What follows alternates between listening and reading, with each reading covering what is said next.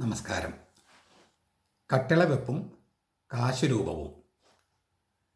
വീട് പണിയുമ്പോൾ പ്രധാന കവാടത്തിന്റെ കട്ടിള വയ്ക്കുമ്പോൾ അതിന് താഴെ ചിലർ കുരിശ് വയ്ക്കും ചിലർ കാശുരൂപം വയ്ക്കും ചിലർ നാണയവും വയ്ക്കും അതിന്റെ കൂട്ടത്തിൽ ഈ ആചാരം ശരിയോ തെറ്റോ? ഇതിലേക്ക് സൂചന നൽകുന്ന ഒരു തിരുവചനം ബൈബിളിലുണ്ട്. യശയായുടെ പുസ്തകം അമ്പത്തേഴാമത്തെ അധ്യായം എട്ടാമത്തെ വാക്യം. കഥകനും കട്ടിളയ്ക്കും പിന്നിൽ നീ അടയാളം വച്ചു.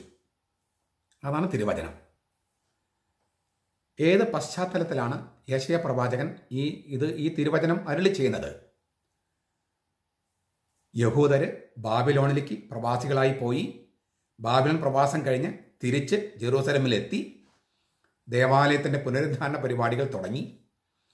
ആ സന്ദർഭത്തിലും ഇസ്രായേൽക്കാർ ചില വിജാതീയ ആചാരങ്ങൾ പുറജാതിക്കാരുടെ ആചാരങ്ങൾ പാലിക്കുകയാണ്. അതിനെതിരെയാണ് യശയ പ്രവാചകൻ പറയുന്നത്. അക്കാലത്ത് അവർക്കറിയാമായിരുന്ന ദേവീദേവന്മാരുടെ മുദ്രയുള്ള രൂപം കൊത്തിയിരിക്കുന്ന കാശുരൂപങ്ങൾ കട്ടിള വയ്ക്കുമ്പോൾ അതിന്റെ അടിയിലോ കഥന് പുറ കഥകിന് പുറകിലോ വയ്ക്കുന്ന ഇസ്രായേൽക്കാർ അത് തെറ്റാണ് എന്നാണ് യശയ പ്രവാചകൻ പറഞ്ഞത്. എന്തുകൊണ്ട്? ഈ ദേവിദേവന്മാരെ പ്രവാചകന്മാർ വിളിക്കുന്നത് നുണകൾ എന്നാണ്. എന്തുകൊണ്ടാണ് നുണകൾ എന്ന് വിളിക്കുന്നത്? ഈ ദേവിദേവന്മാരൊന്നും തന്നെ ജീവിച്ചിരിക്കുന്നവരായിരുന്നില്ല. അസ്തിത്വത്തിൽ ഉണ്ടായിരുന്നവരല്ല. ഒരൊറ്റ ഉദാഹരണം മതി. പഴയ നിയമത്തിൽ നമ്മൾ കണ്ടും കേട്ടിരിക്കുന്ന ഒരുപാട് ദേവിദേവന്മാരുടെ ചില പേരുകൾ നോക്കുക. ബാൽ ബേൽ മർദുക്ക് തിയാമത്ത് മുളയ്ക്ക്. ഈ ദേവിദേവന്മാർക്ക് ഇപ്പോൾ എവിടെയുണ്ട്? മ്യൂസിയങ്ങളിൽ മാത്രമേ ഉള്ളൂ. അവർക്ക് ക്ഷേത്രങ്ങളുമില്ല അമ്പലങ്ങളുമില്ല ഇല്ല പിന്നെ ഭക്തരുമില്ല അപ്പോൾ അവർ ശരിക്കുള്ള ദേവന്മാരായിരുന്നോ? ആയിരുന്നില്ല. നുണകളായിരുന്നു. ആദിമസഭയുടെ കാലത്തുണ്ടായിരുന്ന ചില പ്രജാതി ദേവന്മാർ ആരൊക്കെയാണ്? അപ്പോളസും സെബസും വീനസും ഡയാനും കൂട്ടറൊക്കെ അവർക്ക് ദേവീദേവന്മാരായിരുന്നോ അല്ലല്ലോ. അവരിപ്പോൾ എവിടെ കാണാം? മ്യൂസിയങ്ങളിൽ മാത്രമേ ഉള്ളൂ. അപ്പോൾ അവർ ദേവിദേവന്മാരല്ല നുണകളാണ്. അങ്ങനെ അസ്തിത്വത്തിലില്ലാത്ത ജീവിച്ചിരിക്കാത്ത ഏതെങ്കിലും ദേവീദേവന്റെ കാശുരൂപം ഉണ്ടാക്കി അത് കട്ടിലപ്പടിയുടെ അടിയിൽ വെച്ചിട്ട് വല്ല കാര്യമുണ്ടോ? ദുഷ്ടാരൂപികളെ അകറ്റി നിർത്താൻ എന്നുള്ള സങ്കല്പത്തിലാണ് അങ്ങനെ വെക്കുന്നത്. അത് വെച്ചിട്ട് വല്ല കാര്യമുണ്ടോ? ഇല്ല. കുരിശ് കുരിശ് വെക്കാം. എന്താ കാര്യം? കാരണം അത് ഏകസത്യ ദൈവമാണ്.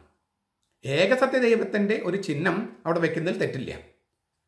നാണയം വെക്കുമോ എന്താണ് നാണയം കൊണ്ട് ഉദ്ദേശിക്കുന്നത് സമ്പത്തിന്റെ ദേവി ലക്ഷ്മി. ആ ലക്ഷ്മി ദേവിയെ പണത്തെ ദേവിയായി ദേവനായി സങ്കല്പിച്ച് അത് വീടിന്റെ കട്ടിലപ്പടിയിൽ പ്രധാന കട്ടപ്പടിയിൽ അടിയിൽ വെച്ചാൽ പണം വരുമെന്നാണ് വിചാരം. ഈ പണം ദേവനാണോ ദേവിയാണോ? അങ്ങനെ നാണയം കട്ടിലപ്പടിയിൽ വെച്ചാൽ പണം വരികയും പോവുകയും ഒക്കെ ചെയ്യുമോ സത്യവിശ്വാസികൾക്ക് ചേരുന്നതല്ല അത്. അപ്പോൾ എന്താണ് വെക്കുന്നത് എന്നതാണ് പ്രധാനപ്പെട്ടത്. നാണയം വെച്ചാൽ അത് അന്ധവിശ്വാസമാണ്. ഏതെങ്കിലും ദേവീദേവന്മാരുടെ കാശുരൂപം വെച്ചാലും അത് തെറ്റാണ്. അത് കാരണം നുണകളാണ്. സത്യദൈവത്തിന്റെ ഒരു ചിഹ്നം വെക്കുന്നതിൽ തെറ്റില്ല. വേണമെന്ന് നിർബന്ധമൊന്നുമില്ല അവിടെ പക്ഷെ വെക്കുന്നതിൽ തെറ്റില്ല. നമ്മൾ വിവേചന കൂടാതെ കണ്ടതും കേട്ടതുമായി നമുക്ക് ചുറ്റുമുട്ടുള്ള അന്ധവിശ്വാസങ്ങൾ നമ്മൾ വാരി വലിച്ച് നമ്മുടെ വീട്ടിലേക്ക് കൊണ്ടുവരേണ്ട കാര്യമില്ല.